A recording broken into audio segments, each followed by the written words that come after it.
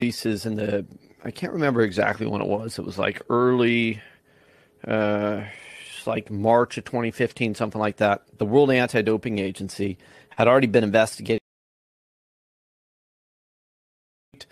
These are all lies. Oh, and by the way, he says anybody who is responsible for this crime will be punished. So basically, Putin is there, are Formula One racing, uh, movie theaters. All of this was never in Saudi Arabia before. On the other hand, this guy, um, as part of his, uh, I don't know what you want to call it, consolidation of power, um, has cracked down on dissent and freedom of speech and freedom of opinion and freedom of journalism, unlike any other, you know, uh, previous monarch.